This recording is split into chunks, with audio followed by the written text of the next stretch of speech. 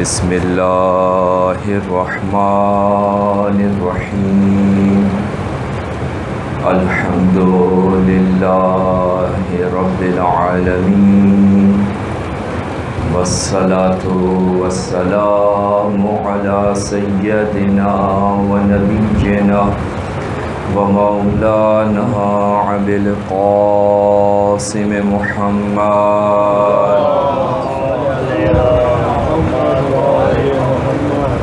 वअला अहल बैतिहि तय्यबीन अत्ताहिरीन अलमासूमीन अलमज़लूमीन ला सियमा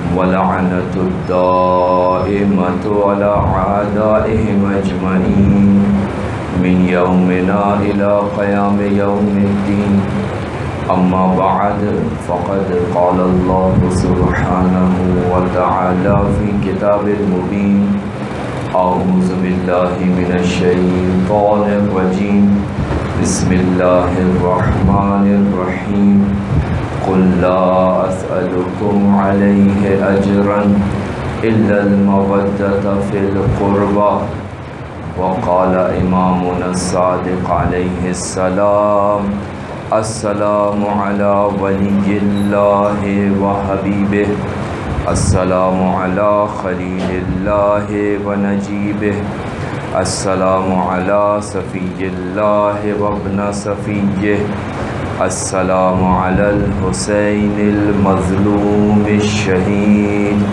अस्सलामु अला असीरिल कुर्बात वक़तील अबरात सलवार पढ़ना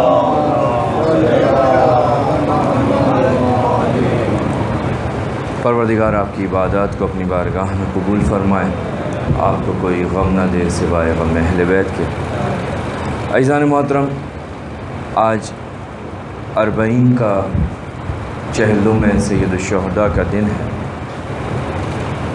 उसी मुनासबत से आपकी खिदमत में ज़्यारत अरबईन के चंद फ़करात पढ़ने की शहादत हासिल की।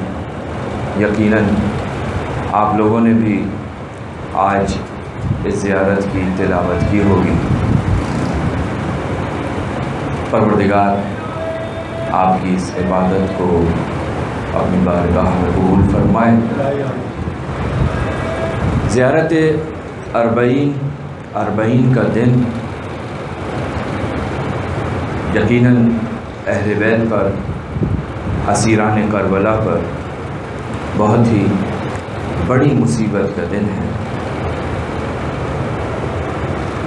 और आप के जो मवदत अहल बैत रखते हैं, जिन्हें परवरदिगार आलम ने यह अजीम नेमत से नवाजा। उस मवदत का, उस मोहब्बत का इजहार करने के लिए इस फर्श अज़ा पर आए। परवरदिगार हम सब की इस मोहब्बत व मवदत को और मज़ीद परवान चढ़ाए। ऐज़ान मोहतरम ज़्यारत अरबईन जैसा कि मैंने गुजशत शब भी इस मकाम पर अर्ज़ किया कि मुस्तनद तरीन ज़्यारतों में से एक ज़्यारत है, ज़्यारत इमाम हुसैन अरबईन के दिन चालीसवें के दिन, जो छठे इमाम इमाम जाफ़र सादिक अलैहिस्सलाम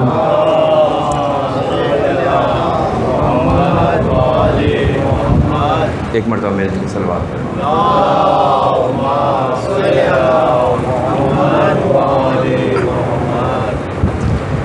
से नकल की गई आपके सहाबी सफ़ान इब्न जम्माल से हम तक पहुँची। और ये वो ज़्यारत है कि जिसके बारे में ग्यारहवें इमाम ने फरमाया कि मोमिन की पाँच निशानियाँ हैं, पाँच अलामतें हैं। मोमिन की अलामत यह है कि वो सीधे हाथ में अंगूठी पहनता है। मोमिन की अलामत यह है कि वो बिस्मिल्लाहिर्रहमानिर्रहीम जब नमाज़ में पढ़ता है तो बुलंद आवाज़ से पढ़ता है, जहर के साथ पढ़ता है, आवाज़ के साथ पढ़ता है। मोमिन की अलामत यह है कि मोमिन सजदा करता है तो अपनी पेशानी को खाक पर रखता है। मोमिन की अलामत यह है कि मोमिन अरबईन के दिन हुसैन इबन अली की ज़्यारत पढ़ता है। ज़्यारत अरबईन। यानी एक अलामत मोमिन की ज़्यारत अरबईन ग्यारहवें इमाम ने बयान की। और अगर ख़ुद इस रिवायत के अंदर देखें तो मोमिनों की पाँच अलामतों में से दो अलामतें ऐसी हैं कि जिनका ताल्लुक़ बरह रास्त सैदुलशहदा से। यानी अगर कोई मुकम्मल तौर पर मोमिन बनना चाहता है तो उसके मोमिन बनने में जिस हस्ती का बहुत ज़्यादा अमल दखल है, उसमें एक हस्ती सैदुलशहदा की है। कहा कि खाक के ऊपर सर रखे, किसकी खाक के ऊपर? कौन सी खाक के ऊपर? तो आयम मासूमिन की तालीमत यही हैं। कि जब अल्लाह को सजदा करो तो उस खाक पर सजदा करो कि जिस खाक में हुसैन इबन अली का खून है। चौथे इमाम ने करबला के वाक़े के बाद करबला की मट्टी अपने साथ रखते थे और उस मट्टी के ऊपर सजदा करते थे करबला के वाक़े के बाद। और ये सिलसिला चलता रहा आज आपके मुश्तिन ये फतवा देते हैं, अपनी किताबों के अंदर ये लिखते हैं कि सजदे के मुस्तहबात में से एक मुस्तहब यह, ये है कि खाक शिफा पर, तुरबत करबला के ऊपर सजदा किया जाए। और दूसरी, ज़्यारत अरबईन। अरबईन के दिन की ज़्यारत। तो इन पाँच अलामतों में से दो अलामत तो वो हैं कि जिनका ताल्लुक़ सईदुलशहदा से। इस सैदुलशहदा के जिनके बारे में चौथे इमाम ने मुख्तलिफ़ उनवानात इस शख्सियत के बयान किए कि ये कौन है? हुसैन इबन अली कौन है? इसको पहचानो। फरमाया, सलाम हो हमारा अल्लाह के वली पर, सलाम हो अल्लाह के हबीब पर, सलाम हो हमारा अल्लाह के खलील पर, सलाम हो अल्लाह के नजीब पर, सलाम हो हमारा सफ़ील्लाह पर सलाम हो हमारा सफ़ील्लाह के बेटे पर, सलाम हो हमारा हुसैन इबन अली पर। कौन हुसैन? कि जो मज़लूम है, शहीद है। वो कि जिसको हर तरफ़ से मुसीबतों ने भेज, घेर लिया था। वो हुसैन के जो कतील अबारात है। वो हुसैन के जिसका नाम अगर उसके चाहने वालों के सामने लिया जाए तो उनकी आँखों में आँसू आ जाते हैं। कौन है हुसैन? उसके बाद पूरी इमाम ने सईदुलशहदा के मकाम को बयान किया। यानी इस ज़्यारत के अंदर अज़मत सईदुलशहदा को बयान किया, मकसद सईदुलशहदा को बयान किया। इसी ज़्यारत में हम चलते हैं आगे और फिर एक मकाम पर पहुँचते हैं, क्योंकि आज अरबईन का दिन है।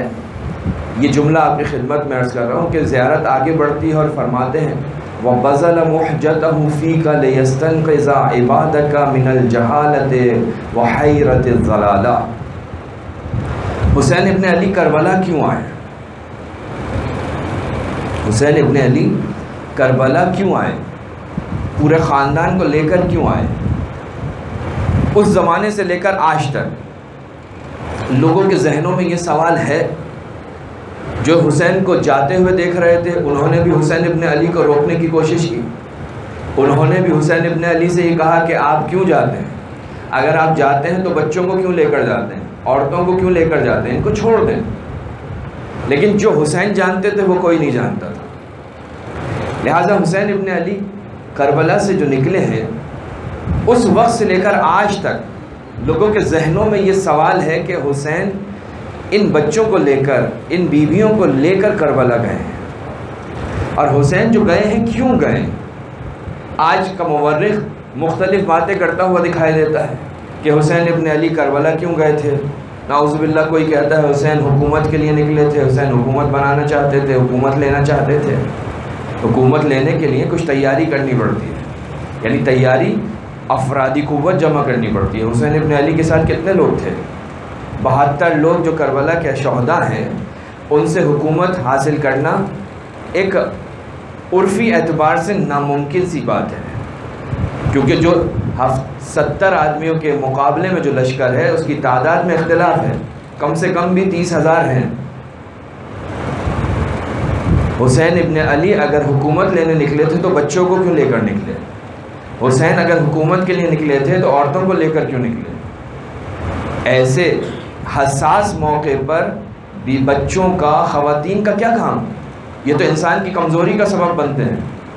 अगर इनको दुश्मन गिरफ़्तार कर ले तो इससे इंसान का रूहिया ज़यीफ़ होता है, कमज़ोर हो जाता है।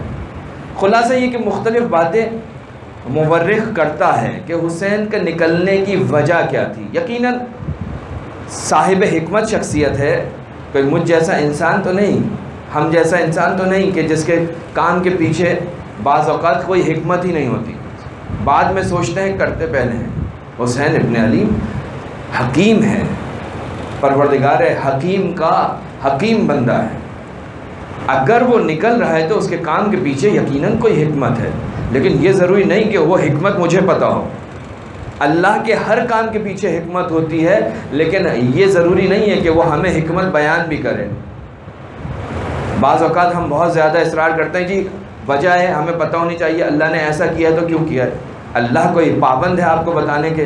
लिए कि अल्लाह अपने हर काम की वजह हमें बयान करे कि साहब, मैं जो ये हुक्म वाजिब कर रहा हूँ, इसकी वजह यह है। ये जो मैंने हराम किया है, इसकी वजह यह है। नहीं, अगर अल्लाह समझता है तो बयान करता है, नहीं समझता तो नहीं बयान करता। हमत ज़रूर है, वजह ज़रूर है, लेकिन ये ज़रूरी नहीं है कि हर वजह हमें मालूम भी हो। और यही तरीका है अमल हम खुद अपने घरों में अपनाते हैं। हम बहुत सारे काम करते हैं, बच्चों को वजह नहीं बताते। बच्चे पूछते हैं कहा नहीं बता रहे हम। बस कोई वजह है, बाद में बताएँगे, ख़ुद पता चल जाएगा। तो ज़रूरी नहीं है कि परवरदिगार आलम जो अमल अंजाम दे, जिस चीज़ का हुक्म दे, जिस चीज़ से रोके, उस चीज़ की वजह हमें पता भी हो। लेकिन ये हमारा अकीदा होना चाहिए कि परवरदिगार आलम जानता है। परवरदिगार आलम को मालूम है। परवरदिगार आलम हकीम है। लिहाजा उसके अमल में कोई किसी किस्म की कमी नहीं हो सकती।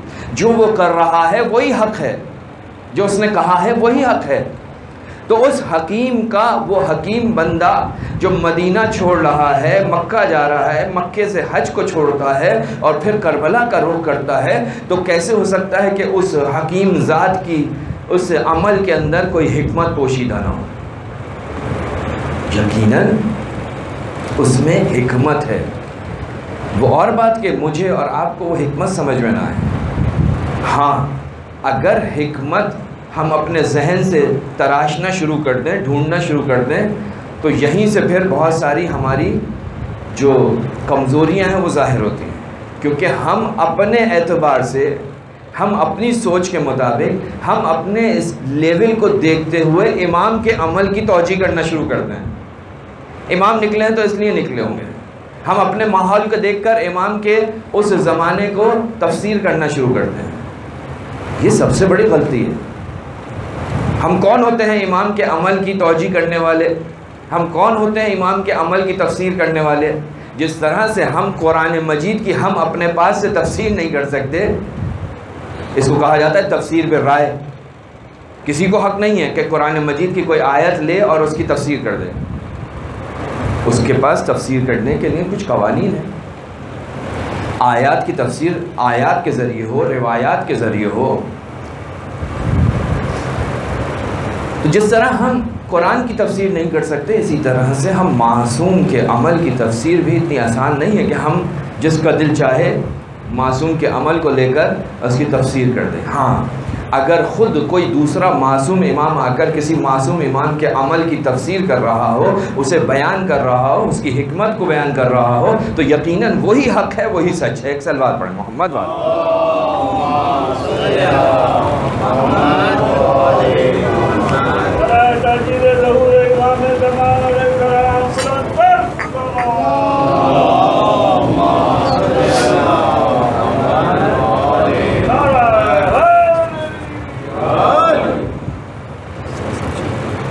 मरतबा फिर मिलेंगे सलवार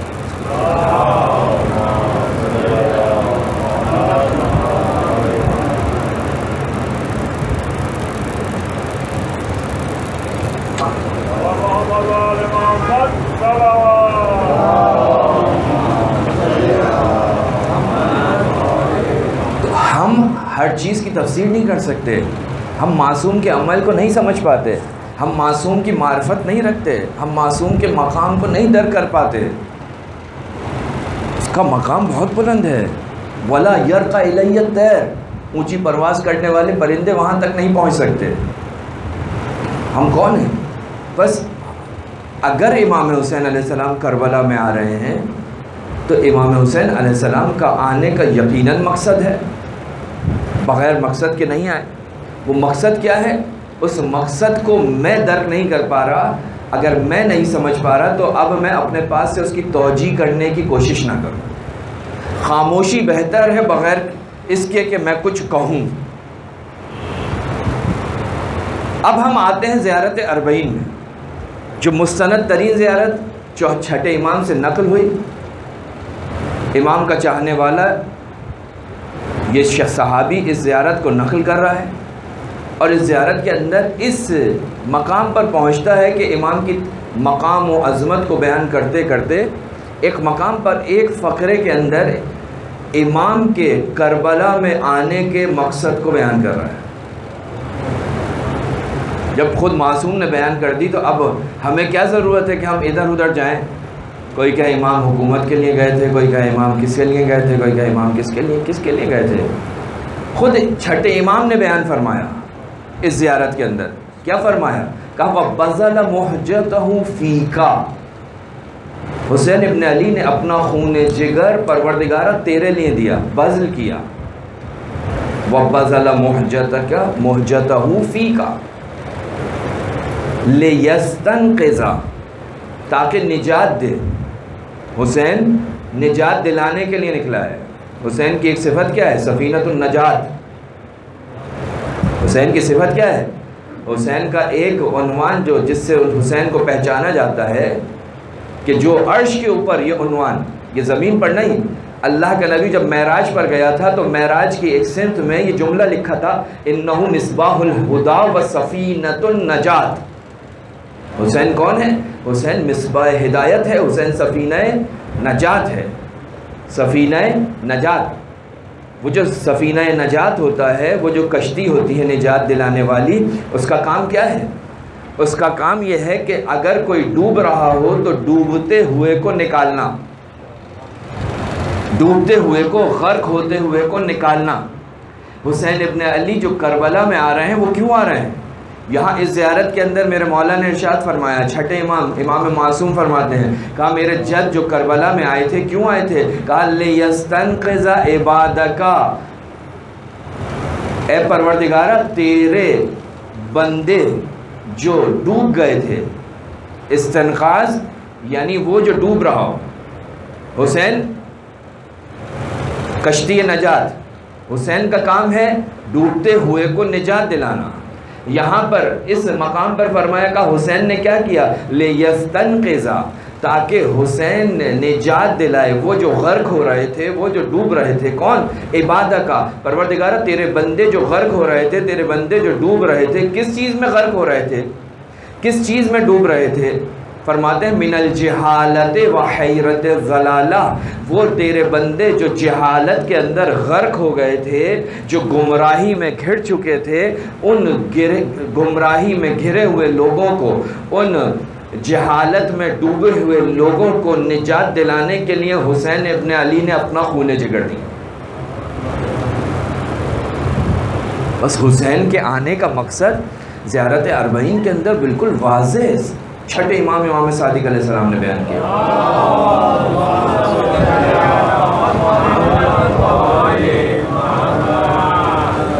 आज चौदह सौ साल गुजर गए।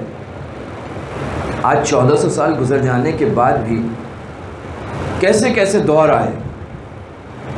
हुसैन पर भी मुसीबत आई, हुसैन के चाहने वालों पर भी मुसीबतों के ज़माने आते रहे, आते रहेंगे। लेकिन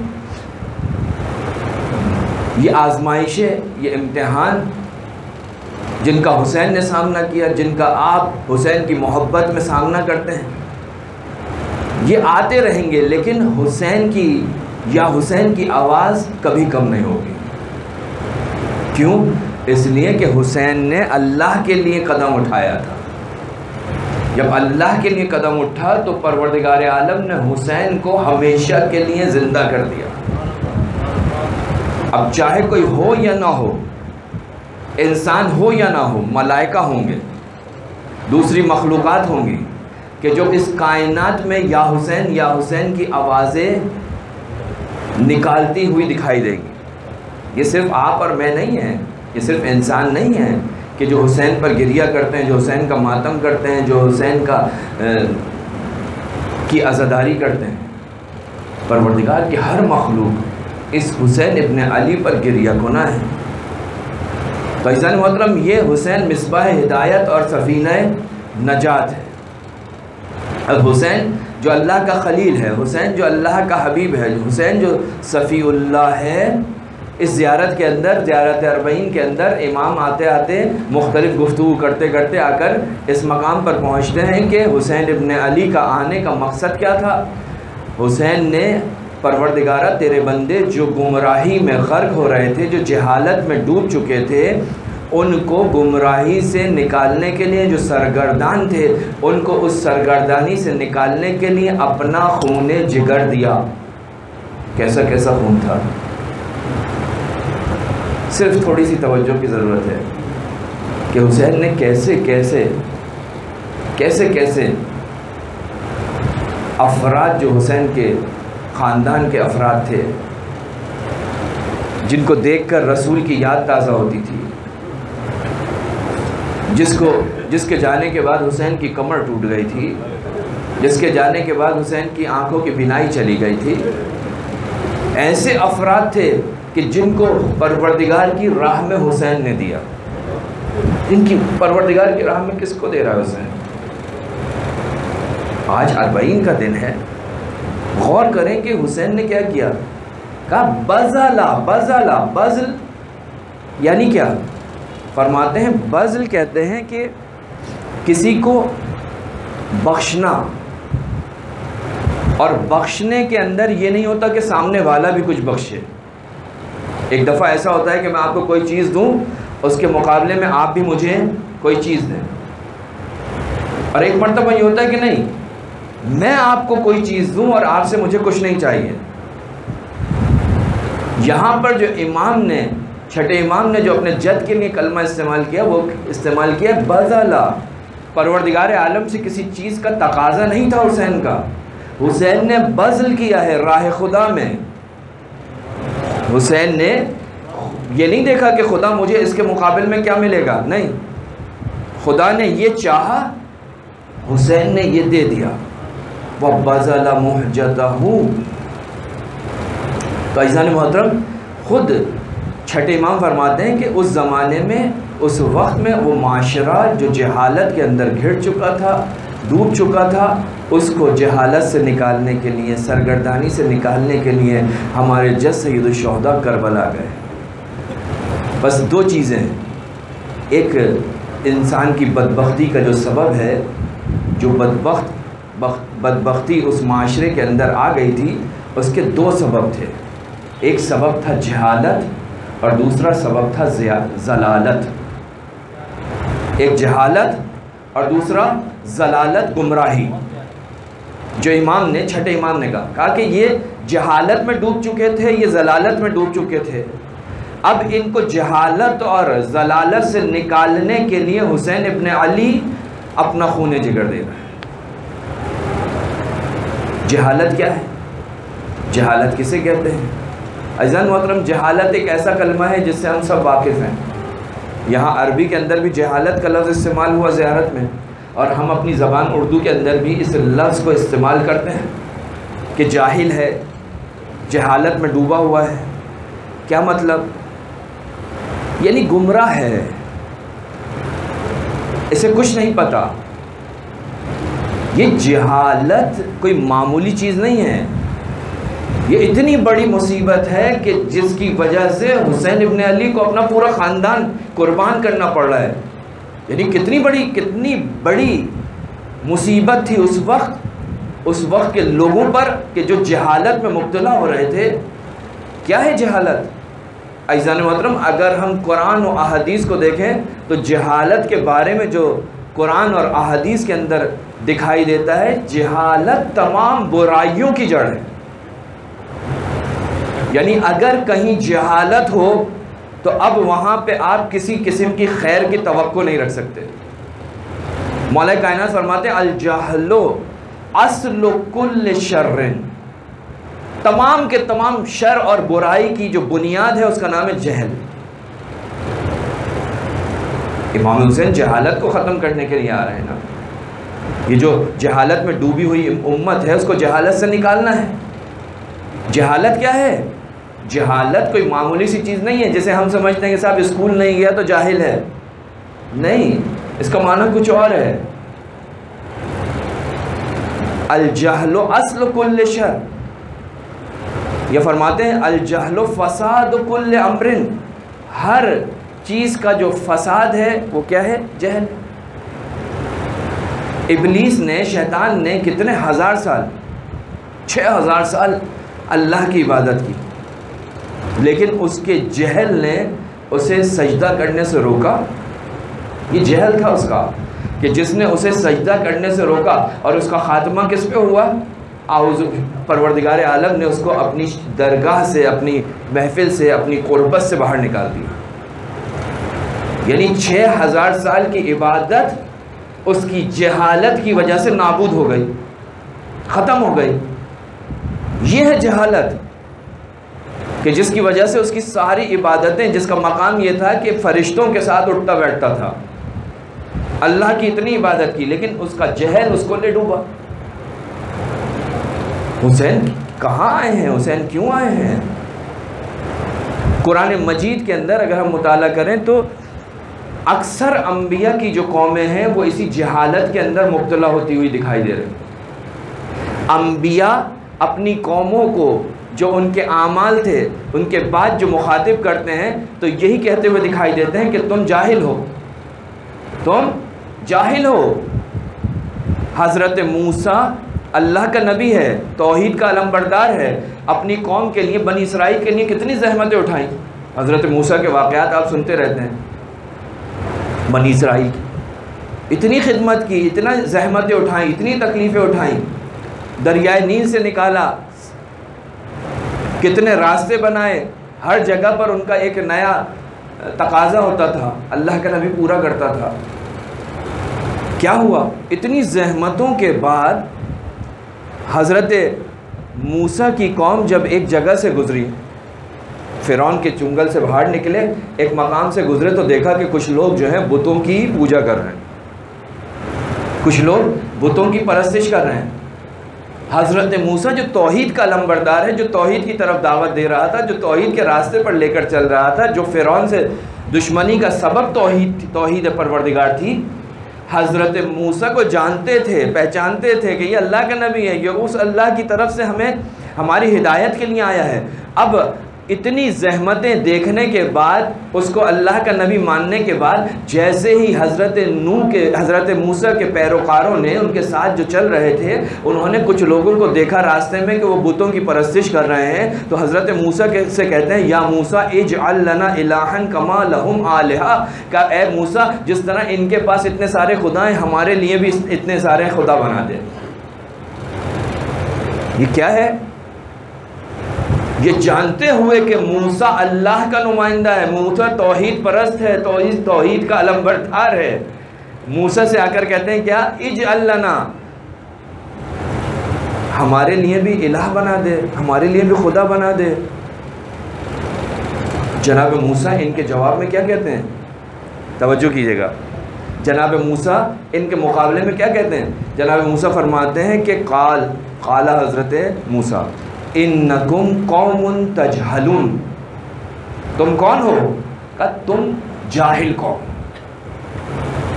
ये जहालत थी, ये जहालत थी। कि तुम एक वाहिद, कहार व कादिर व करीम व रहीम व गफ़ूर व गफ़ार खुदा को छोड़ कर के जो तुम्हारा राजिक है, उसको छोड़कर अपने हाथों के बनाए हुए बुतों को कि जो अपनी नाक से मक्खी नहीं हटा सकता, जो अपनी जगह को बदल नहीं सकता, जो अपनी हिफाजत नहीं कर सकता, जो किसी किस्म की कुदरत नहीं रखता, उसको बनाने का तकाजा करते हो।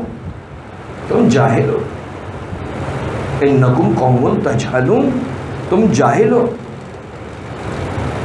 मगर मगर बंदा खुदा को बना सकता है, बंदा माबूद को बना सकता है।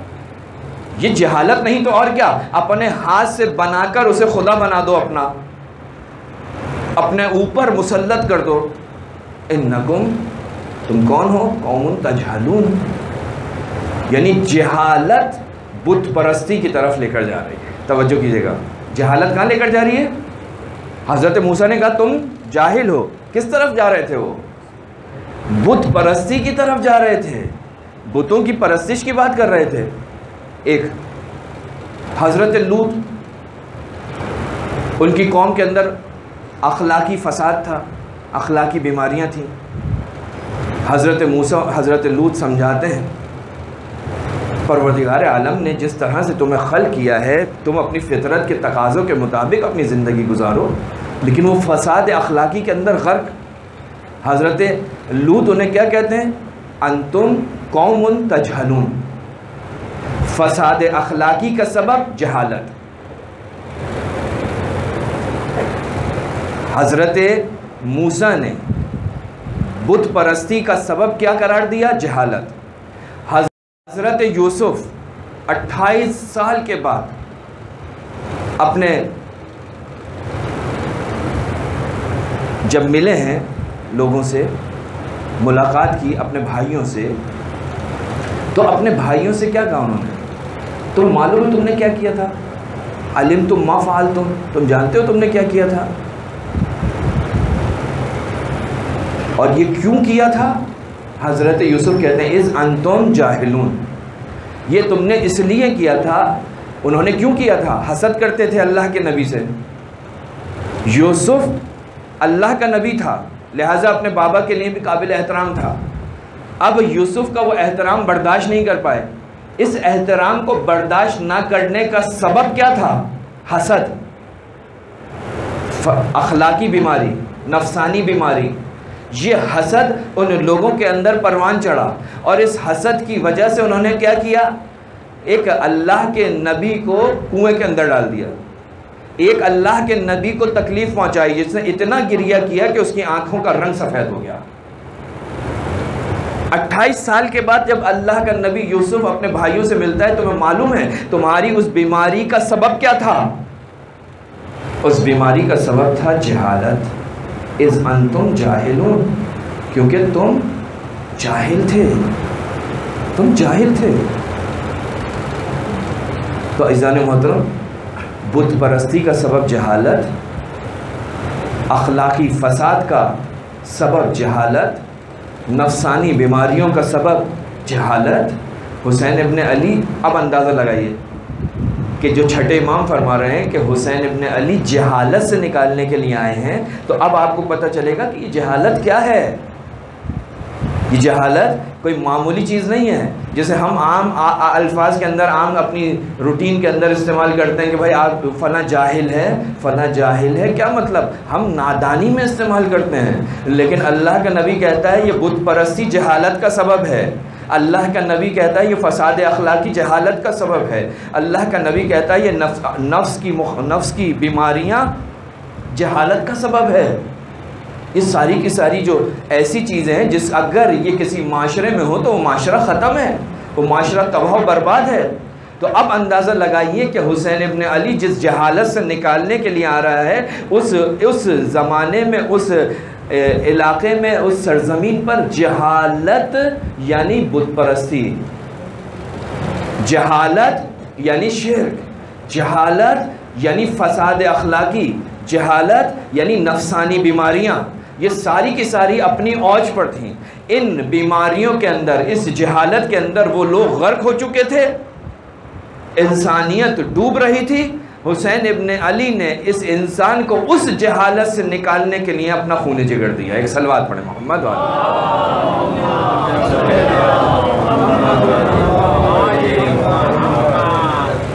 खुद कुरान के अंदर जहालत का तस्करा हुआ है। जाहिलियत उला और जाहिलियत उखरा। एक जाहिलियत वो थी कि जो रसूल जब इस दुनिया में आए, इस सरजमीन मक्का पर आए, उस वक्त जो जाहिलियत थी, उसको जाहिलियत उला कहा है। पहली जाहिलियत। और पाँचवें इमाम ने फरमाया कि एक अनकरीब जाहिलियत, फिर एक जाहिलियत ने ज़हूर किया। रसूल खुदा ने पहली जाहिलियत को ख़त्म किया और फ़र्जंद रसूल ने दूसरी जाहिलियत को ख़त्म करने के लिए अपना खून जिगर दिया। तो ये कोई, ये हदफ, ये मकसद ख़ुद मासूम इमाम बयान कर रहे हैं। ऐसा मोहतरम सब चीज़ों को छोड़ दीजिए। हुसैन क्यों निकले थे? हुसैन इसलिए निकले थे। छठे इमाम बयान कर रहे हैं। अब इसमें कोई दो राय है। इमाम बाकर फरमाते हैं, सतकून जाहिलियतन उखरा। पचास साल के बाद एक दूसरी जाहिलियत आई। रसूल के जाने के बाद पचास साल गुज़रे, एक और जाहिलियत ने ज़हूर किया, जो पहली जाहिलियत से ज़्यादा ख़तरनाक थी। हर नबी का काम जहालत, जाहिलियत को ख़त्म करना था। हर नबी आया इसीलिए। लिहाजा अपनी कौम को ये कहते हुए भी दिखाई देते हैं। तो जाहिलियत को ख़त्म करना था हुसैन इबन अली ने, उसको ख़त्म करने के लिए ये क़याम किया। करबला में आए। करबला को आबाद किया। और फिर करबला के अंदर वो इकदाम किए कि जिससे ये जाहिलियत ख़त्म हो सके। अब ये जाह, जाहिलियत का क्या माना है? एक बहस है। मैं उस तरफ़ नहीं जाता। सिर्फ़ चंद मिसालें आपकी खिदमत में अर्ज़ करूँ। जब चौथे इमाम शाम में दाखिल हुए, उसरा का काफ़िला शहर शाम में दाखिल हुआ तो एक शामी ने जब जनाब जैनब कुबरा को देखा गिरिया करते हुए तो एक मर्तबा उसकी ज़बान पर एक जुमला आया। कहा कि अल्लाह तेरा शुक्र कि तूने इनके साथ ऐसा किया। जैसे ही उसने ये जुमला कहा तो चौथे इमाम ने उसकी तरफ़ रुख किया। कहा, ए हाफिज़ कुरान, तूने आय तथीर पढ़ी है? कहाँ पढ़ी है? कहा, तूने आय उलिल अमर पढ़ी है? कहाँ पढ़ी है? कहा, तूने सूरह कौसर पढ़ी है? कहाँ पढ़ी है? कहा, तूने सूरह हलता पढ़ी है? कहा, मैंने पढ़ी है, क्यों मुझसे पूछते हो? और तुम्हें कैसे पता कि मैं हाफिज़ कुरान हूँ? कहा, इसको छोड़ दे कि तू हाफिज़ कुरान मुझे कैसे पता? कहा कि आप क्यों पूछते हो? कहा, तुझे मालूम है, ये आयतें किसके बारे में नाजिल हुई हैं? कभी कभी जहालत नादानी के मुकाबले में होती है। अगर नादानी के मुकाबले में हो तो इंसान सीधा हो सकता है। जब इस शख्स ने पूछा कि आप मुझसे क्यों पूछते हैं? इमाम ने पूछा, तुझे मालूम है ये आयतें किसके बारे में नाजिल हुई हैं? कहा कि, नहीं, ये रसूल, औलाद रसूल। कहा, हम औलाद रसूल हैं। हम औलाद रसूल हैं। ये आयत अथीर हमारी तहारत की गवाही दे रही है। ये आए उलम हमारे बारे में ये सूर्य कौशल हमारे बारे में है। ये सूर्य हल अता हमारे बारे में है। अब जो उसने सुना तो गिरिया करने लगा। कहा, मुझे माफ़ कर दीजिए, मुझसे गलती हो गई। बताइए मैं आपकी क्या खिदमत कर सकता हूँ? रिवायत में मिलता है कि अपने घर गया, अपनी औरतों से कहा, अपनी चादरें मुझे दे दो। अपनी चादरें मुझे दे दो। अपनी औरतों की चादरें लेकर आ रहा है, औरतें कहती हैं, क्या हुआ? कहा कि रसूल जादियों के सरों पर चादरें मौजूद नहीं है। जाहिल था, लेकिन जैसे ही कलाम ईमान सुना, इसकी जहालत ख़त्म हुई राह रास पे आ गया। ये जहालत इतनी ख़तरनाक नहीं है। हाशी में मिरकाल अमीरमिन के साथ जंग सिफ़ीन के अंदर है। कौन है? इसका ताल्लुक शाम से है। रिश्तेदार है। लेकिन किसके साथ लड़ रहा है? किसके लश्कर में? अली अबी तालिब के। जंग करने के लिए जब मैदान में आया तो देखा सामने वाले लश्कर में एक शख्स है कि जो अमीर मोमिन को बुरा भला कह रहा है। इसने कहा, भाई, क्यों कहता है? कहा, बलगनी अन्ना साहिबकुम ला युसली व अन्ना अन्नहु कातिल फ़लान. कहा, हम तक ये ख़बर पहुँची है कि तुम्हारा जो इमाम है, तुम्हारा जो लीडर है, वो नमाज़ नहीं पढ़ता और उसने फ़लाँ फ़लाँ को कत्ल करवाया. कहा अच्छा। उसने उसका हाथ पकड़ा मध्य मुकाबिल लश्कर का है। उसका हाथ पकड़ के अपने लश्कर में लेकर आया। कहा, ये देखो, ये कौन है? कहा, ये मालिक है, ये अबूज़र है, ये फ़ला है, ये फ़ला है। देखो, इनके चेहरे के ऊपर, इनके पेशानियों के ऊपर सजदे के निशान हैं। तुम तो करते हो कि इनका इमाम जो है वो नमाजी ना हो। जैसे ही उस हकीकत को उसके सामने लेकर आया, जहालत ख़त्म हुई, इल्म आया फ़ौर उस लश्कर को छोड़ के इस लश्कर में दाखिल हुआ। पीछे से आवाज़ दे रहे हैं, कहाँ जाते हो? कहा? छोड़ दो, तुम गलत हो, तुमने मुझे धोखा दिया, फ़रेब दिया। हाशिम मिरकाल जो अमीर मोमिन के लश्कर में सिफ़ेन के अंदर अली के साथ लड़ रहा है ऐसा ता, ऐसा ताबे ऐसा मोहब्बत करने वाला ऐसा जान कुर्बान करने वाला कि तारीख़ कहती है कि जब लड़ते लड़ते ये शख्स ज़मीन पर गिरा है तो अभी कुछ जान बाकी थी। इसने देखा कि एक दुश्मन अली उस मकाम पर पड़ा है उसके अंदर अभी भी ज़िंदगी के आसार मौजूद हैं। तो उसके करीब गया उसको अपने दांतों से इतनी ज़ोर से दबाया कि वो वहीं मर गया। यानी खुद जान देने के करीब था, उसने देखा दुश्मन अली अभी ज़िंदा है, उसको मार दिया उसने। अमीर अलमोमिन आए तो उसके लिए वहाँ पर पहुँच कर दुआ की। ये चाहने वाला है। फरमाते हैं कि, ला तज आलो इल्मकुम जाहला। कुछ ऐसे लोग थे कि जो जानते थे कि हुसैन हक पर है। कुछ ऐसे लोग थे कि जो जानते थे अली हक पर है। लेकिन ये जानने के बाद अपने आप को उन्होंने जाहिलियत के अंदर डाला हुआ था। और ये जाहिलियत नहायत ख़तरनाक है। कितने ही लोग थे जो हुसैन के सामने उमर साद आया था क्या वह हुसैन को नहीं पहचानता था। इब्न ज़ियाद क्या हुसैन को नहीं पहचानता था? जिसकी जिसकी वाज दलीलें करबला के अंदर मौजूद हैं। और क्या कहता है? कहर कहता है कि कैसे हो सकता है कि मैं अपने आप को जन्नत और दोजख के दरमियान देख रहा था। एक तरफ़ ये जिसका शजरा पता नहीं, दूसरी तरफ़ वो जो फातिमा जहरा का बेटा है। कैसे हो सकता है कि मैं अपने आप को जहन्नम में ले जाऊँ? यानी जानता है उमर साहब, क्यों आया है? और रय की लालच में अपने आप को जाहिल बना के कि हम इसको हुसैन को कत्ल करेंगे। हुसैन को कत्ल करने के बाद क्या हुसैन की नाना की शफात मिल सकती है? हुसैन को कत्ल करने के बाद क्या तुम्हारे पास दीन बाकी रह सकता है? ये हुज्जत खुदा है। ये हुज्जत खुदा है। लिहाजा, बहुत सारे ऐसे लोग थे कि जिन्होंने अपने आप को बेचा है। काब इबन सुअर शामी था, जंग जमल में आया है। जब इससे कहा ना कि चलो अली के ख़िलाफ़ जंग करनी है, कहा, मैं अली के ख़िलाफ़ जंग करूँ? कैसे हो सकता है? अली की शान में 300 कुरान मजीद में 300 आयतें नाजिल हुई हैं। कह रहा है। लेकिन जैसे ही उसे कुछ लालच दी जाती है, कुछ पैसा दिया जाता है तो फ़ौर अपने औलाद के साथ जो है वो मैदान जंग के अंदर उतरता है। क्या वो दीन कहाँ गया? अभी तक तो ये कह रहा था कि 300 आयतें अली इब्न अबी तालिब की शान में आई हैं। मैं अली के मुकाबले में आऊँ, मैं अली के ख़िलाफ़ लड़ूँ, कैसे हो सकता है? लेकिन जब पैसा मिला तो वो पैसा मिलने की वजह से ख़ुद भी आया, अपनी औलाद को भी लाया और जहन्नम में वासिल हुआ। कहीजान मोहतरम, जहालत की हालत ये थी कि शाम के अंदर मुरुज जहाब जहाबी अपनी किताब के अंदर लिखता है कि एक शख्स ने दे दो आदमी जो है वो आपस में गुफ्तु कर रहे थे। किसके बारे में गुफ्तु कर रहे थे? अली और फातिमा के बारे में। तो एक शख्स ने आकर पूछा, तुम उन्हें जानते हो कौन है? कहा कि, दोनों बहन भाई हैं। नहीं मालूम कौन है, किसके बारे में गुफ्तु हो रही है। तो हुसैन इबन अली जो क़याम कर रहा है, वो जहालत को मिटाने के लिए क़याम कर रहा है। अब वो ज़माना आ गया कि जुम्मे की नमाज़ बुध को पढ़ी जाएगी। अब वो ज़माना आ गया है कि अली इब्न अबी तालिब पर कि जिसको रसूल कहता है कि वो मुझसे है, मैं उससे हूँ। उस पर सब की जाएगी।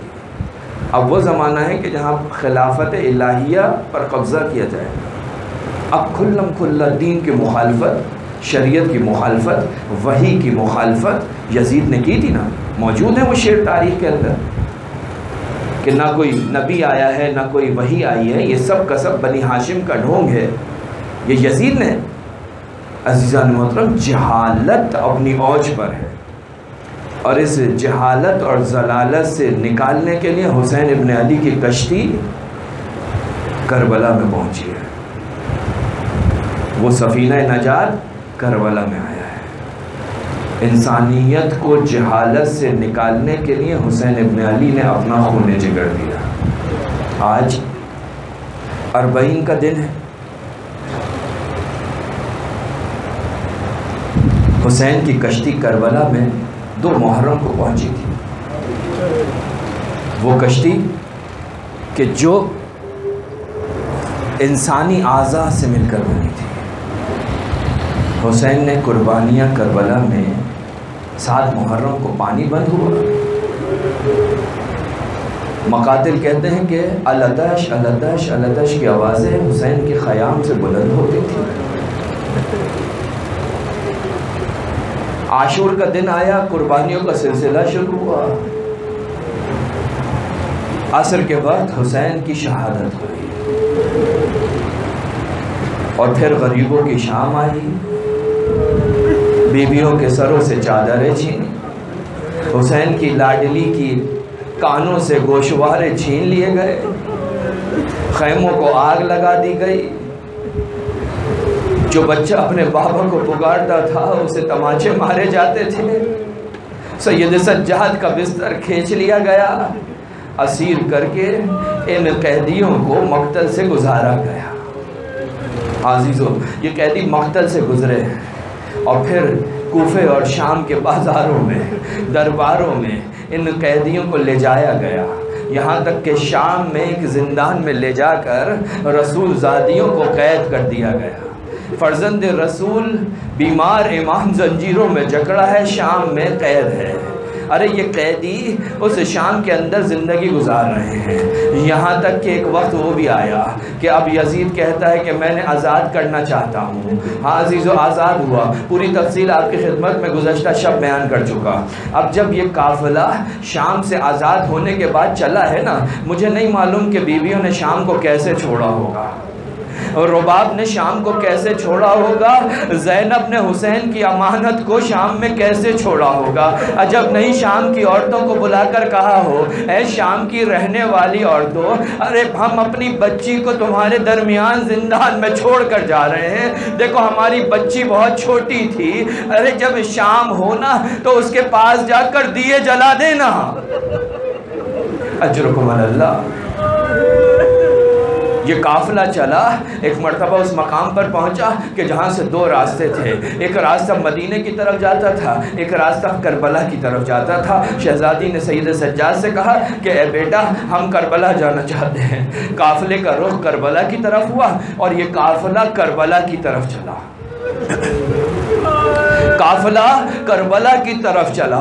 तारीख कहती है, जब ये करबला की तरफ़ काफिला पहुँचा, उधर से सहाबी रसूल जाबिर इबन अब्दुल्ला अंसारी हुसैन की ज़ियारत के लिए अपने ग़ुलाम के साथ करबला पहुँचा। ग़ुलाम ने कहा, आका, हम करबला पहुँच गए। कहा, मुझे यहीं उतार दो। मैं अपने मौला की कब्र पर जाऊँगा। ये रसूल का नाबीना सहाबी एक मरतबा कुछ कब्रों के दरमियान खड़ा है। ग़ुलाम कहता है, यहाँ बहुत सी कब्रें हैं, आका, लेकिन कैसे पता चलेगा? कि हुसैन की कब्र कौन सी है? कहा, मुझे कब्रों के दरमियान खड़ा कर दे। अब जाबिर को कब्रों के दरमियान पहुँचाया गया।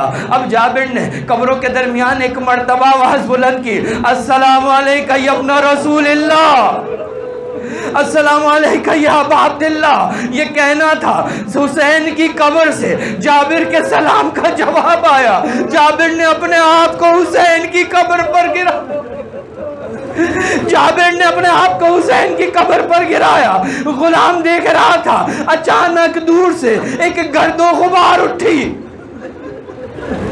गर्दो गुबार का उठना था। जाबिर का गुलाम कहता है आका लगता है इब्ने जियाद की फौज आ रही है। उन्हें पता चल गया है। अरे यहाँ से हट जाओ। कहा आने दो। अरे आज मेरा मौला नहीं। अब मैं भी ना रहूँ तो कोई बात नहीं। एक मरतबा जब गर्दो गुबार का बादल छटा तो गुलाम कहता है आका ये तो अजीब मंजर दिखाई देता है। ये तो सियाह अमारियाँ हैं। अरे काले अलम है। अरे ये का, काफिला करीब आया।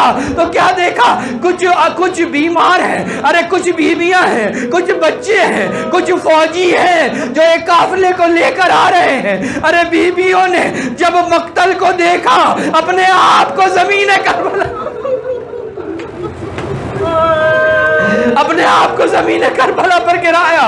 अरे जाबिर का गुलाम कहता है, आका, अरे ये कोई काफिला है, इसमें कुछ औरतें हैं, कुछ बच्चे हैं, अरे एक इसमें बीमार भी है। एक मरतबा आगे बढ़कर कहा कि कौन है? करीब लेकर गए सैयद सज्जाद की खिदमत में। एक जुमला कहा कहा, आप कौन है? कहा, मैं अली इब्न हुसैन। कहा, मैं आपके बाबा का साहबी, आपके नाना का साहबी जाबिर। अरे मेरा सलाम कबूल जाबिर ने सैयद सज्जाद को सलाम किया, सैयद सज्जाद को पुरसा दिया। कहा, बाबा, आप किस किस का पुरसा मुझे दोगे? अरे, किस किस का पुरसा मुझे दोगे? ए, मेरे नाना के साहबी। अरे, करबला में आशूर के दिन। अरे, हम पर कैसी मुसीबतें पड़ी अरे हमारा सब कुछ बर्बाद हो गया। अरे हमारी माँ बहनों के सरों से चादरें छीन ली गई। अरे गोशवारे छीन लिए गए। हमें बाजारों में, दरबारों में फिराया गया। एक मरतबा जाबिर कहता है कि मुझे ये बताओ कि और कौन कौन सी कब्र है? कहा कि मेरा चाचा अब्बास दरिया के किनारे सो चचा अब्बास दरिया के किनारे, जाबिर कद दरिया के किनारे पहुँचे, उस अब्बास की कबर के करीब पहुँचे। अब जाबिर ने गिरिया करना शुरू किया। रिवायत कहती है, एक किसान दूर काम कर रहा था। जब उसने गिरिया की आवाज़ सुनी, करीब आया। करीब आया। कहा कि क्यों रहते हो? कहा कुछ अरसे की बात है कि मैंने देखा, यहाँ पर एक काफिला आया था। उसके अंदर खूबसूरत खूबसूरत जवान थे। अरे, उनका एक सरदार था। उनके साथ छोटे छोटे बच्चे थे। अरे, उनके साथ खातन थी। अरे, वो दो मुहर्रम को इस जगह पर पहुँचे थे। सात मुहर्रम को उनकी, उनके खेमों से अल्लाह की आवाज़ें बुलंद हो रही थी। अरे, जब आशूर का दिन आया तो अब मैंने एक मरतबा देखा, एक रसूल का शबी, एक मरतबा मैदान में आया। जंग करते करते उसके सीने पर पर्ची लगी, वो ज़मीन करबला पर गिरा। अरे मैंने देखा, दो चाँद के टुकड़े जंग करते करते आए। अरे नहर पर पहुँचे, उनको शहीद कर डाला। अरे मैंने देखा, एक इस कौम, इस लश्कर का एक अलमदार था, जिसकी कबर ये है। अरे इसके दोनों बाजुओं को खता कर दिया। अरे आखिर में इस लश्कर का सरदार आया। अरे जो जख्मों से चूर था, जिसका लिबास खून में तर था, अरे उस नशेबी ज़मीन में, उसे जिबा कर दिया गया। अरे सैयद सज्जाद कहते हैं, ए दहकान, ए किसान, अरे वो जवान जो रसूल का शबी था, वो मेरा भाई अकबर था। अरे वो दो चाँद के टुकड़े मेरे फूफी जैनब के बेटे थे। अरे ये मेरा चचा अब्बास था, और वो मेरा बाबा हुसैन था, अली का फर्जल जहरा का लाल। अरे बीबियों ने अपने आप को शौदा की कब्रों पे गिराया। अरे जैनब ने अपने आप को हुसैन की कब्र पर गिराया। और जैनब ने एक जुमला कहा, भैया, मेरे हाथों में जो तुमने अमानतें दी थी, वो मैं सारी अमानतें ले आई। लेकिन भैया, मैं तुमसे शर्मिंदा हूँ। तुम्हारे सीने पर सोने वाली, अरे